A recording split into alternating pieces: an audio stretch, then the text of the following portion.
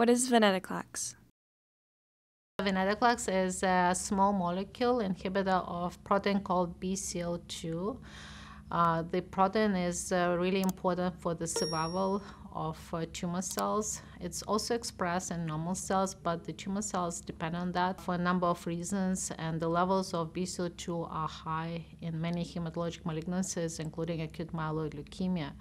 So what venetoclax does, it specifically binds to uh, BCL2 protein through specific uh, protein-protein interaction, and it prevents essentially collaboration between BCL2 and pro-death proteins. So what happens is that uh, BCL2 is sort of being neutralized, and therefore the pro-death proteins that are naturally occurring in the cell, they're free to go ahead and kill the tumor cells. And because the leukemias are highly dependent on BCL2, uh, this approach is really effective in leukemia and does not kill as much normal cells as some of the other, for example, chemotherapy does, because it's not as specific to the uh, tumor cells as to the normal cells. That's how it works. it also uh, called universal sensitizer because by lowering the threshold of cell death, it essentially increases the sensitivity or responsiveness to many, many different types of therapy, being a regular chemotherapy, targeted therapy, immune therapies.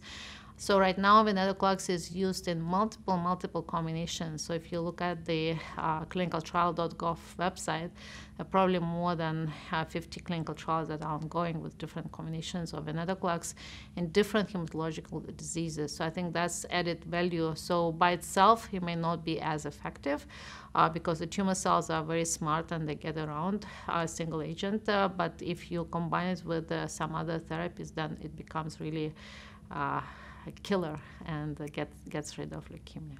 What are the BCL2 proteins and how do they play a role in AML? So venetoclax is an inhibitor of BCL2. Uh, BCL2 is a protein, but there's a whole family of BCL2 proteins, and BCL2 is obviously one of the key ones we think, but there are multiple other cousins of BCL2.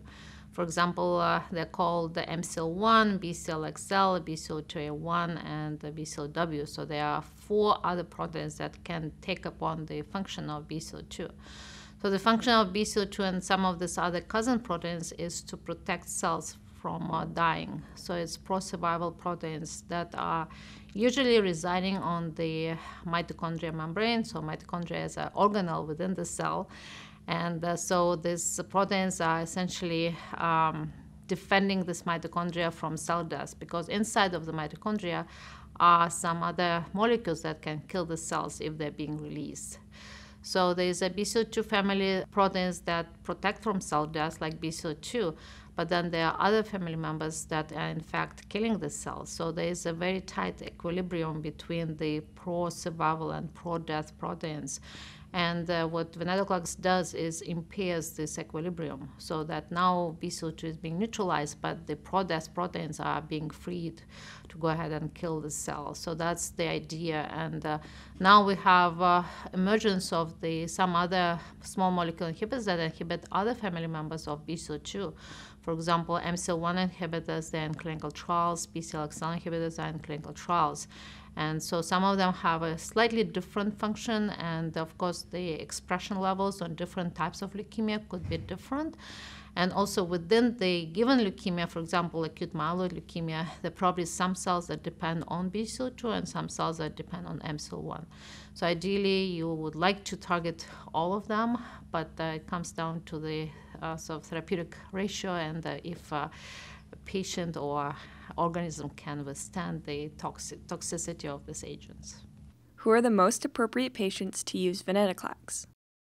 So venetoclax was approved in 2019 for acute myeloid leukemia usage. It was approved in combination therapy. So initial trial that we actually have done back in uh, 2016 was a single agent inhibitor, venetoclax, in the patients who had relapse refractory disease. And despite the fact that studies in the lab have predicted that as a single agent it will be highly efficacious, the tumor cells were smart and they got around it. So we saw responses, but they were short lived, and that the response rate was too low for it to move forward as a single agent for the approval. So the next uh, clinical trial was in combination with the two different types of uh, agents. One's uh, called uh, low-dose chemotherapy, cytarabine, and the second is uh, what we call hypomethylating agents. So these are the agents that affect uh, epigenetic makeup of the cells. They're approved for therapy of acute myeloid leukemia, such as azacitidine or, azacitidine or decitabine. So these uh, clinical trials they were running in parallel initially as a phase one, two trials.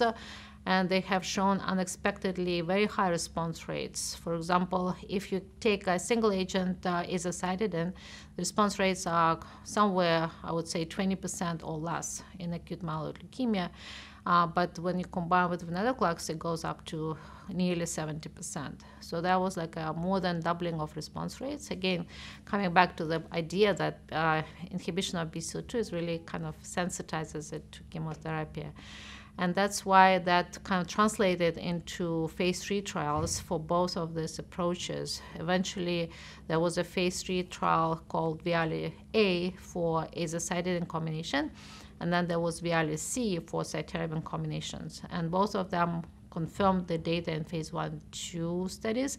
And they also showed that uh, in addition to high response rate, actually patients lived longer. And this was the most important uh, endpoint because Sometimes we have drugs that can induce what we call remission, response, but then uh, patient would relapse, and after they relapse, it's really hard to get them back into remission.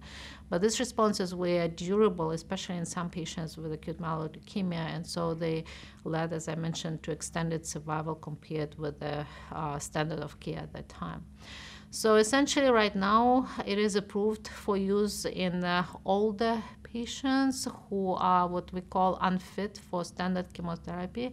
There's specific criteria for that. So either age above 75 years old or specific comorbidities if they are above 60 years old. And these are approved therapies for this uh, patient population. So they essentially became a standard of care and being used now in US and many other countries uh, as a frontline therapy for all the patients.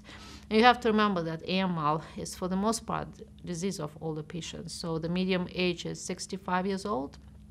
And so majority of the patients we treat are in fact above 60 years old. So venetoclax is right now being used for the majority of acute myeloid leukemia patients. With that said, we think that it's going to be highly effective also in younger patients when added to chemotherapy.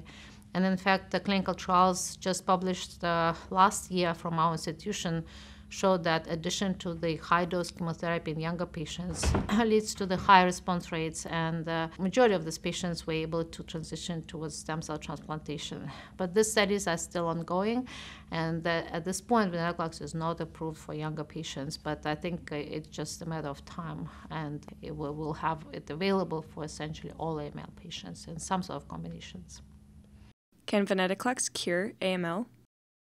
Unfortunately, venetoclax by itself cannot cure AML. We know that. We don't know that 100% because um, the initial clinical trial with venetoclax was in the relapse population, which is always harder to treat. So we don't have uh, venetoclax single agent data in newly diagnosed AML. But venetoclax in combination can cure AML, uh, but not all. So it's highly dependent on the subset of acute myeloid leukemia. It's very heterogeneous disease, so it has multiple different genetic subsets. So what we know now is that patients who have two particular types of mutation, one is called NPM1, the other one is called IDH1-2. Again, NPM1 is very common, it's about 25%. IDH1-2 is about 10%. So you can take it, you know, about 35% of total patients if you treat them in combination of uh, hypomethylating agents and venetoclax. The cure rate I would estimate is about uh, 60%. So these are the subsets that are particularly sensitive to venetoclax therapy.